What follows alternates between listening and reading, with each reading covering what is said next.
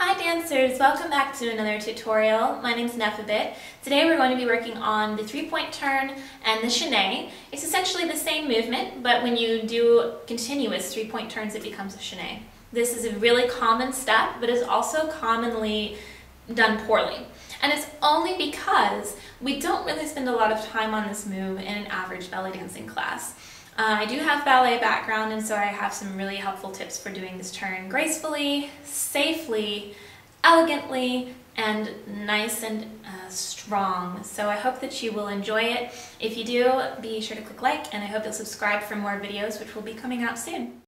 Okay, so let's think about where the turn really originates from. And I always joke with my students in my regular classes that the turn isn't really what turning is about. Everything except turning around is what's important with the turn, and that's probably not going to make any sense until I explain to you how to do this. So when we think about a turn, we have to imagine uh, a gyroscope or something that is going to be turning on a central axis.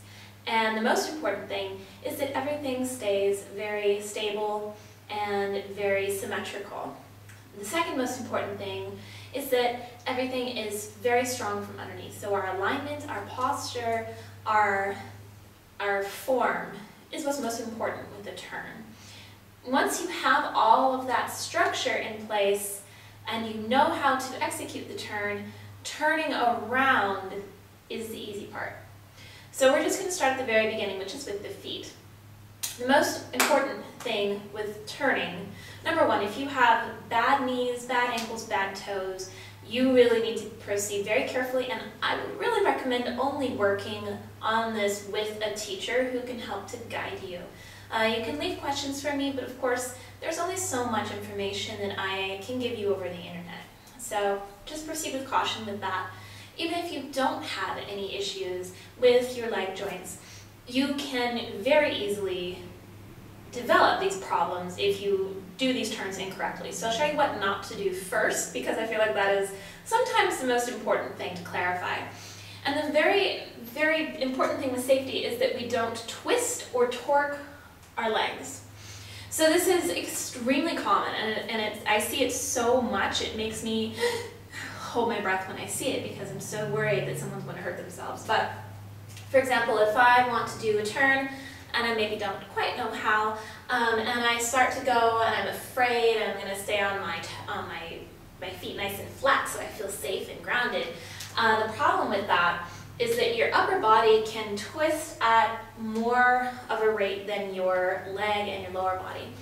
So when you have the foot flat like this, and I start to twist, if you do that, if you just were to do that very, you know, slowly and carefully and safely up here, you're going to start to feel that all the muscles around your leg bones will twist, but the leg bones themselves stay put because the foot is stationary. These bones cannot turn if the foot does not turn. So, that being said, what we're going to do is we're going to do all of our traveling steps and all of our turns on the balls of the feet or on releve. And this is a term that is borrowed from French ballet terminology that upsets some people, but that's just what I grew up with and that's what I will refer to it as.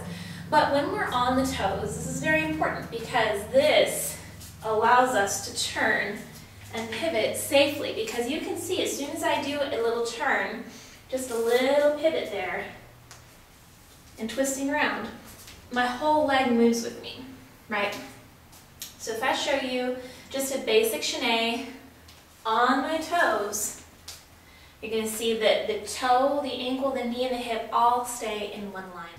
So let's break down the basic step of a chaîné turn without all of the frills. We're just going to go over the actual pathway and we'll sort of put all of the elements into it as we go.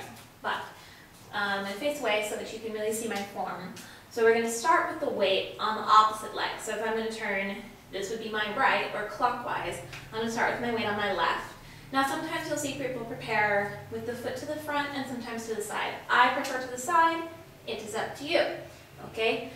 it's one of the only things that is really truly up to you. The rest of it you absolutely have to do. But this one, the most important thing though is that when you step, you're going to step directly to your side, not almost to the side, not to the corner, not behind you. It has to go directly parallel to front, so 90 degrees from your front. And you're going to change your weight, again, pushing through the ball of your foot.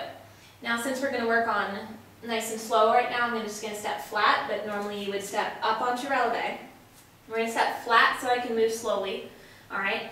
So you change your weight, and then you're going to bring your other foot around you, weight in the toe, pivot both your toes to the front. Very important. Do not leave one foot behind. Don't let your feet turn in or out, okay? They have to stay parallel to each other. And then this is the hard part. This is where spotting will come in handy, but we'll talk about that shortly. We have to turn behind ourselves. And what tends to happen here, this is a very, very common problem, so video yourself and make sure you're not doing it, is that people are afraid to step where they can't see, and what happens is they step behind themselves. So Then we have this problem right here. Get into the frame there. We have the toes of cattywampus. We're not in alignment, we're not here, we're here, and we're also, we don't know where we're going to end up. We've stepped behind ourselves and we haven't spotted over the head yet. So this is a huge problem. Be sure that you're not doing it. So I'll show you correctly and with the spotting, which I'll clarify shortly, but you would turn and pivot. As long as you pivot your feet, you're fine. You need to pivot and you need to let your toes go 180 degrees. So this is going to feel real stupid, but bear with me for a moment. So I want you to try it. All my students do it and they feel dumb, but then they think, oh, okay, that, I see why you made me do that stupid thing. So we're going to put the hands up onto the shoulders, and you want to think of your elbows as little arrows. Okay, this is going to help you also make sure that you're not lopsided, because if one arm is lower than the other, you're going to turn more towards that low arm that's going to pull you off course, just like an airplane that's going to bank and it's going to go in that direction. So None of that, it has to be very lifted, okay? So we point our elbows and we make sure my feet are in the frame, I can't see. Okay, and then we're gonna think of being a gingerbread man. Or you can think of your elbows as little marionette strings attached to your feet. So when I move one, I move the other. And wherever the hand goes, the foot is also gonna have to go, okay? So then we're going to go one, again, we'll do it on releve later. Two, behind yourselves, three. Okay, and you just practice the three first. That is the three-point turn, and if you continue on, it becomes a chaîné. Make sure you do both directions. Don't become lopsided, but we'll go one, change the weight, 180 degrees, pivot your feet, change the weight, pivot, pivot, pivot, boom. And work on that slowly. You can also work at a bar or a countertop or a wall. And this will help you get confident with your feet, with your ankles and your toes, getting nice and strong. And you should feel tension all the way up into your hip. Feels like I'm poking at my butt, but I'm, I'm poking my hip joint, my hip socket. You should feel control from that hip socket. So you would go, you know, one, use that bar, two, and three. And the slower you work, the more time you have to micro adjust. You can adjust your trajectory. If you start to lose your balance, you can fix it. You can really get centered. It feels like baby steps, but baby steps are good. So practice slow, practice with assistance, okay? Another really great tip, I don't have my circular um, resistance band today, but if you have one, if you put that resistance band around your ankles, you know, it needs to be a little bit like, just a little tension when you pull it out hip width. Oh my gosh, wonderful drill for doing this because it helps you maintain even distance between your feet. So that's a great thing. I should have thought about that before I started filming, but you know what I'm talking about. If you have one, try it out. The next thing we're going to think about is the spotting of the head and the arms. So they kind of go hand in hand. So again, with this gingerbread or puppet string analogy, we're going to add the head to be associated with the hand and the arm position. And instead of doing the elbows here, we'll just do arms out to the side. Now you want to have your arms in a rounded position. This is pretty much something that we borrow almost directly from ballet, and it's not really something we use a whole lot in the rest of the ballet dance vocabulary. But trust me, it helps a lot because you don't want to be cutting into space with your arms like this. You want to be aerodynamic. And the best way to be aerodynamic is to go like this. So the elbow, the leading elbow, it's leading here, and the hand is just sort of following. It's not going, I don't know if I'm making any sense, but I'll show you the arms anyway. Take it or leave it. But you would start here, and I would also start sliding to the side, to where I want to go. But when you step, you want to open that arm, changing the weight. Then you're going to step again, and you're going to close it somewhat. Sorry, I keep getting out of frame. But you're going to come about to here. It's about to that hug a beach ball posture. And everything is sloped and rounded. We're not overly bringing the shoulder blades back. This is here, shoulder blades are flush to the back, elbows are lifted, and the arms are slightly angling downward as well. But this also really helps to keep them even because when they close in front of you, if they're lopsided, you're going to see it and that's going to help out. But okay, so we've done one, two. When we go to the back, this is the hardest part. We'll talk about the head in a second. But we're going to pivot all the way around and we open again. So if I do a succession of these, a series of them, you're going to see that my arms are going to open, close, open, close, open, close. And I'm probably out of frame there, but it just continues on. And if you were in, you know, if you were not moving, it, it wouldn't feel right because you're going open, and then as you turn your body, your other hand catches up. So it sort of catches up, and then you open again. So you really can't replicate that without the turn because otherwise it feels like you're doing this. It just, it doesn't work. But the basic pathway is open, close, open, close. And I know it looks very silly with the small steps, but I recommend that that is how you practice your turn. This is a huge pet peeve, and I'll try not to go on a huge rant about it, but you cannot do a turn with your head like this. And you really shouldn't ever have your head like this, but all of us do it. I do it too, sad to admit. But the head has to be back. And I've been in a room sometimes where all I want to do is go around and just push people's foreheads back until they're all standing up straight.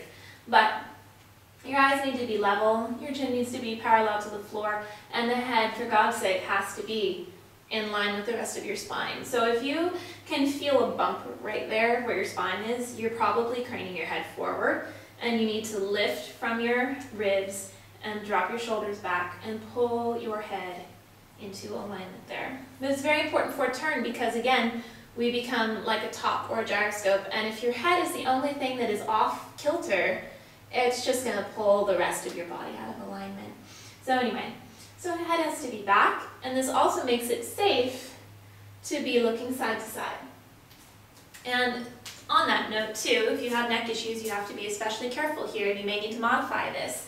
Because ideally to do this safely, you need to be able to look 180 degrees and not with your eyes, but with your head. It needs to be able to go from shoulder to shoulder.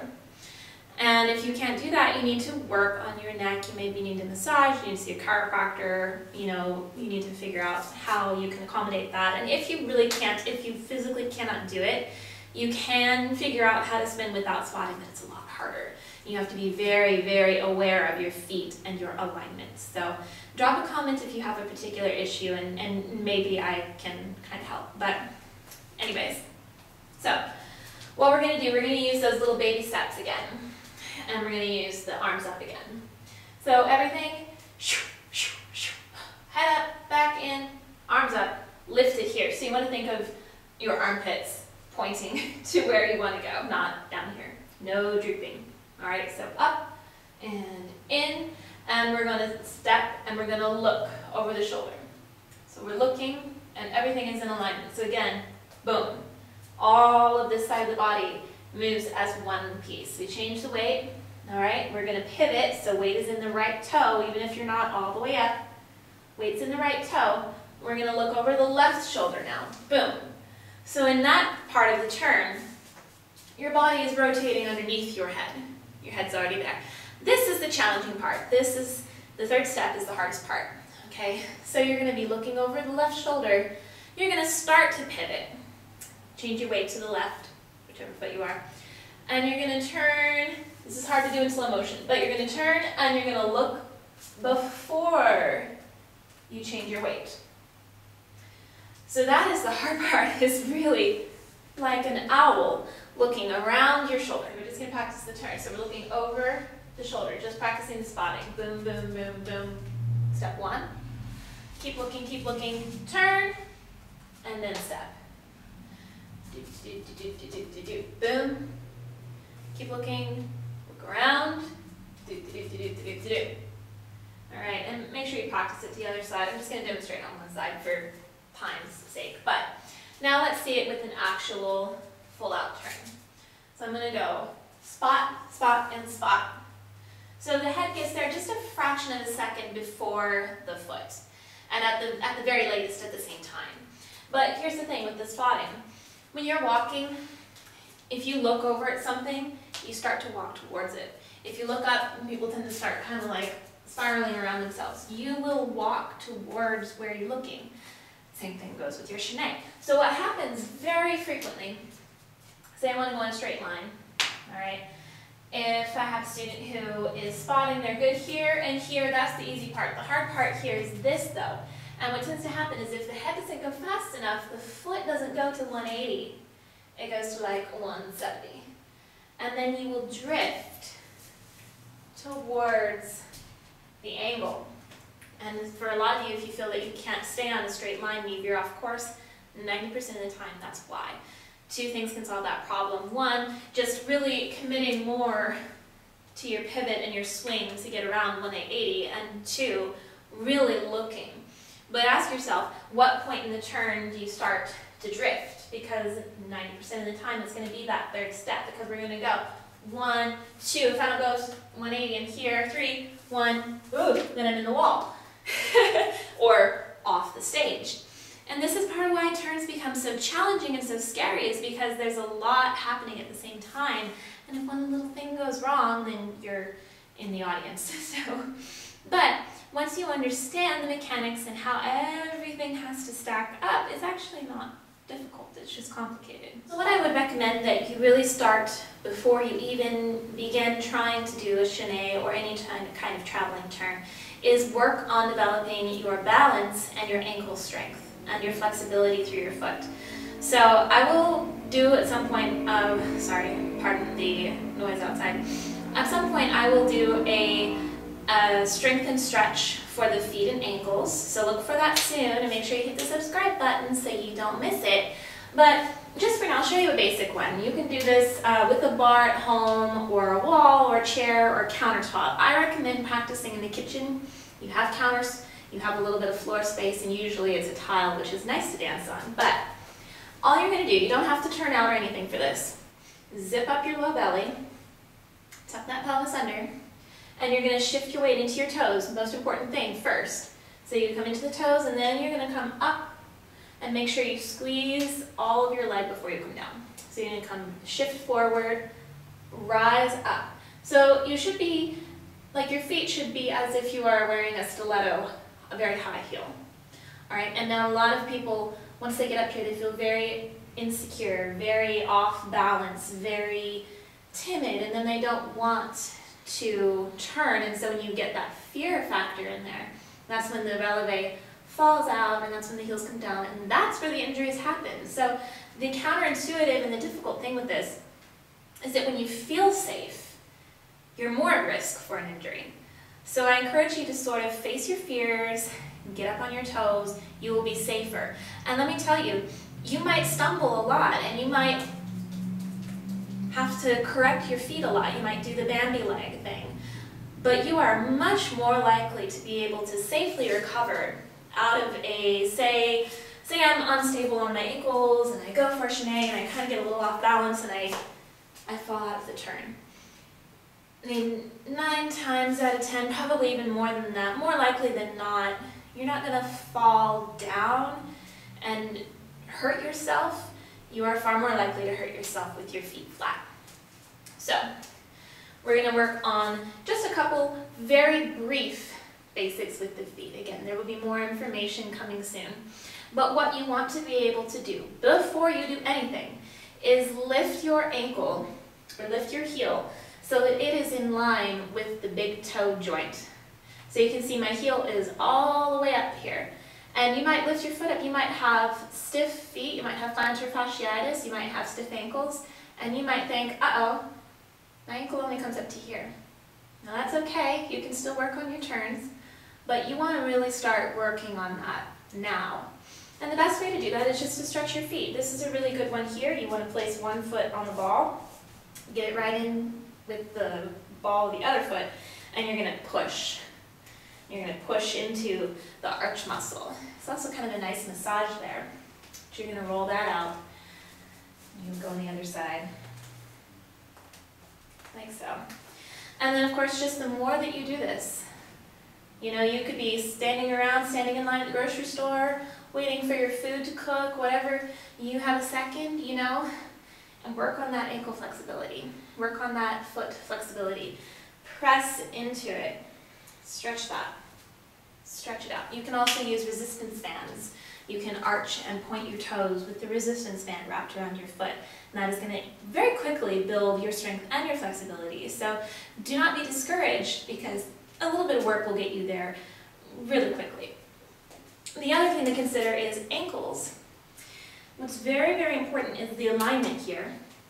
So if you look down at my ankle here, you can see that the weight from my hip and my knee all goes through the inside of the ankle to the big toe joint. So there's about a dollar coin size spot right here where you want all of your weight to center on those toes.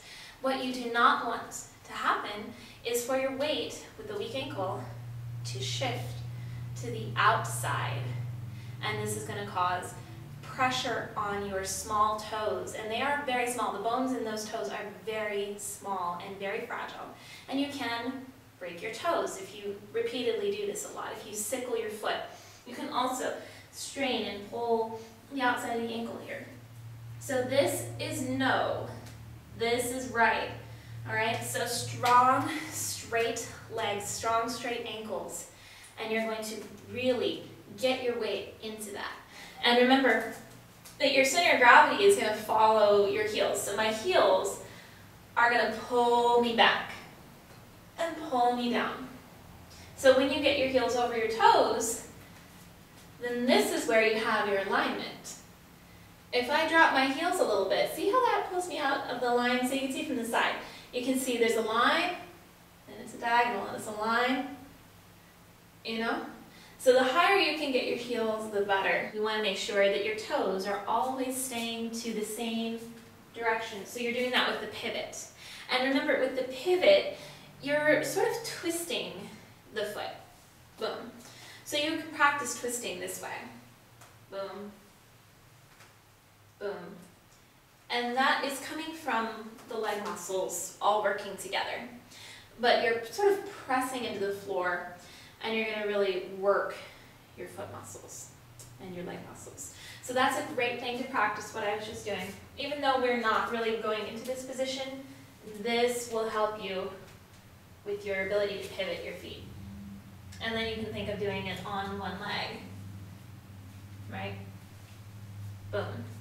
And then that applies to your chaîné because when you step, you want to rotate all the way around onto the ball of the foot. The other thing that's important to note for a turn is that you cannot, cannot do a turn when you're slouching and your body's loose.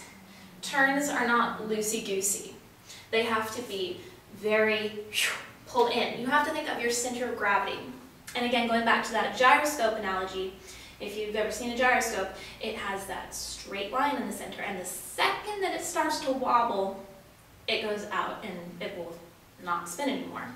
But as long as that center of gravity is perfectly lined up, that gyroscope will spin so perfectly that it looks like it's not moving. So if you don't know what I'm talking about, just look it up. I'm sure there's some video on YouTube that shows a gyroscope in motion. It's really cool. It's kind of like a top. And you can visualize a top as well. But regardless, the important thing there is that the center of gravity is lifted and centered. So think of your tailbone pointing down as, as we often talk about. And then you're going to squeeze your low belly, pull it in. You're going to squeeze in your ribs, zip those up. You can check out my zip up your ribcage tutorial if you need to. And then we're going to think about squeezing every single leg muscle that you have, every leg muscle you can feel. And you want to gently push and rise into your legs and come down. And please note that when you're not warm, you're not going to feel on balance. I, I probably didn't even warm up enough for this video, but time's a ticking.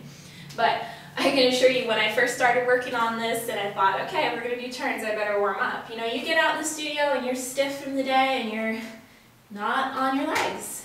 So give yourself a little time to warm up. So that's why when we do turns, I'll face my mirror here, we would usually spend some time just centering out, lifting, coming down, just being able to work on squeezing. So do several of those before you even attempt a turn. Alright dancers, that's it. Thank you so much for watching. I really hope this was a helpful tutorial for you. If you enjoyed it, please leave a thumbs up. And if you have any questions, feel free to leave a comment. I read through my comments maybe once a week or a little more often than that, so you will hear back from me. You can also send me a direct message or find me on Facebook and Instagram and all that jazz. Anyway, thank you so much for watching and keep dancing.